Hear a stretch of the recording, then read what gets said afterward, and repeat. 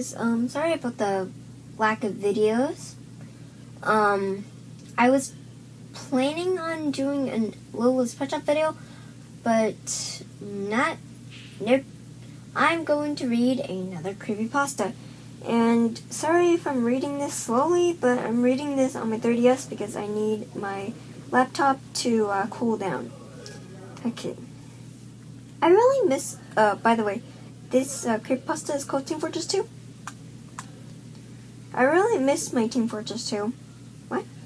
I wish I had the guts to even open it again, but I just can't, not after that. It all started around three days ago. I was there having fun with the whole with the Halloween event, the Halloween update, uh, when suddenly my real life friend calls me on Steam. He's Brazilian as well, so this is just a rough translation of our conversation. Hey Leo, my real life uh, friend's my real life nickname. Are you there? This is the friend talking. Yeah, why? Uh, I need you to look into something. Uh, what exactly? You see, there's something wrong with my Team Fortress 2 game. It, Imba webs? What is that? What? Never mind. Anyways, it's all up. Texture glitches? I don't know what to call it anymore. You have to see it for yourself. Screens? No. I tried uploading something. It just didn't work. Weird. Oh, by the way, I was playing line play with my friends. Um, just do it on your computer. Just do it on your computer. Oh, as long as it doesn't require any DL DLS. No, just go to the loadout screen, equip the mackerel, then the bat, then the mackerel again, and then the Sandman. Oh, they're probably uh, he's probably playing as a scout. Um, must be must be an awkward graphical glitch. Wait, I don't have a mackerel. I would give you mine if I could.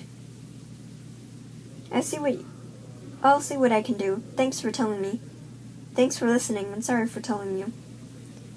As I as I was about to ask him what he meant, he disconnected. That was one heck of a weird conversation, though it wouldn't been been had I gone in time to warn my warn myself.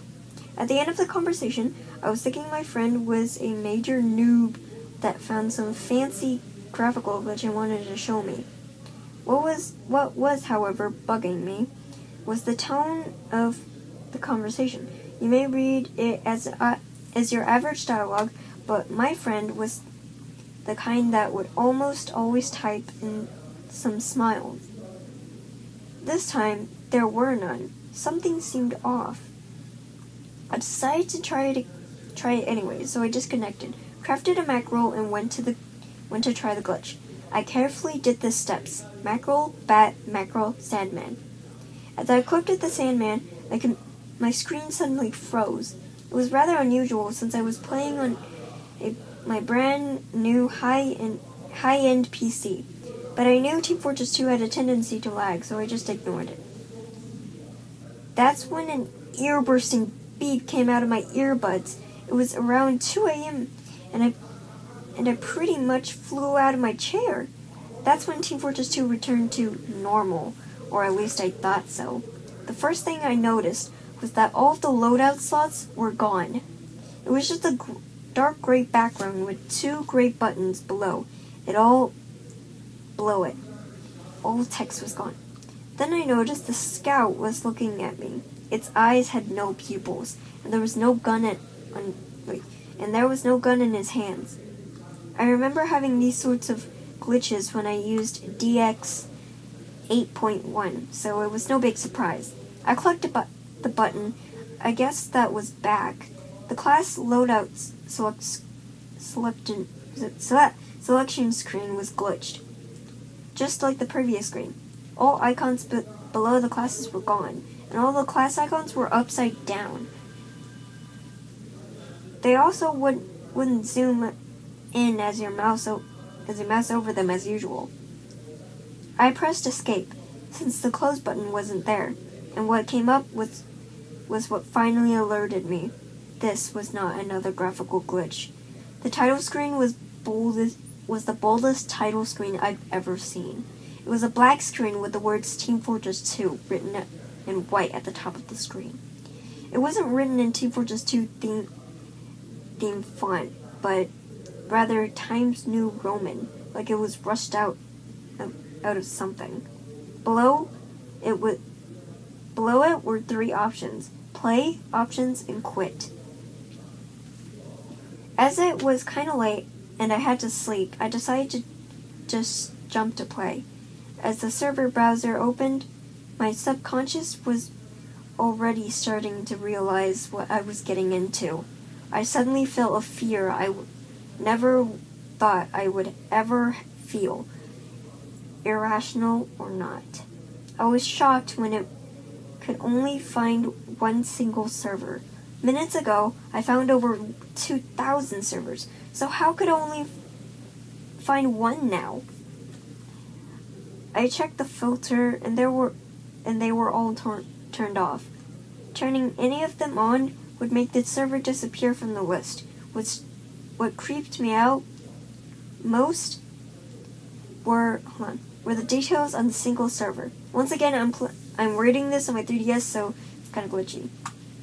I have good internet though, which is good, so I can still read the story. Yay! The name of the server was just Team Fortress, so I instantly su- suspected it was a listen server. The game tab was empty. The player count was 114. The map was just manor. It was written like that, not not C, CP underscore under slash manor sl- under slash event. Just manor. And the PNG, PING, ping, I, I don't know, was 10. That's what that's what I call a ping. what? You mean PNG? Uh, anyways, I whispered to myself. I kept staring at this at the player count for around 30 seconds. I was trying to figure out what was someone doing there. Lonely, on a remote remote server, isolated from the player base. I reluctantly entered the server. The loading bar was just just a long white stripe with no text. It connected. I wasn't greeted by the usual blackboard welcoming screen. Instead, it just went straight to the class selection screen. I just crafted the horseman horse horseman's head taker, and I real I wanted and I wanted to try it out. So I instinctively chose Demo Man.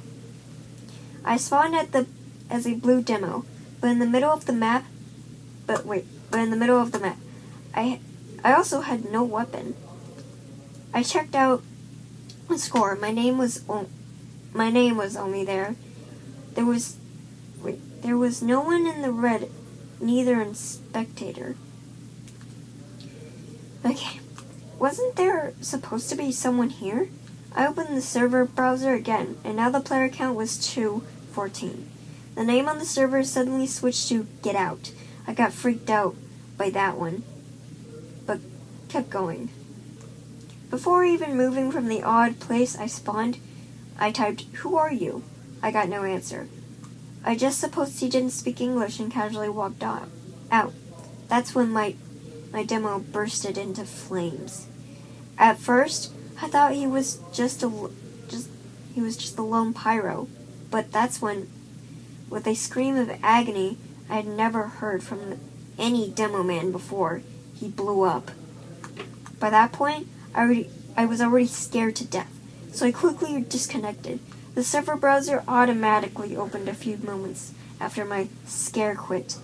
This time, the name of the server was Come Back, I Want You. I decided to step up and go in again, now prepared for anything. Alright guys, um I um I don't want to make this I've been have I been seriously going on the same picture the whole entire time I was reading? I forgot to switch the pictures again. God dang it. So anyways, um I don't want to make this video like 11 minutes. So yeah. Um may the travelers be with you and I'll see you guys on the next video. Well, this story is really getting interesting. I want to. I really want to read more. So after this video, I'm gonna I'm gonna read it again. Bye bye.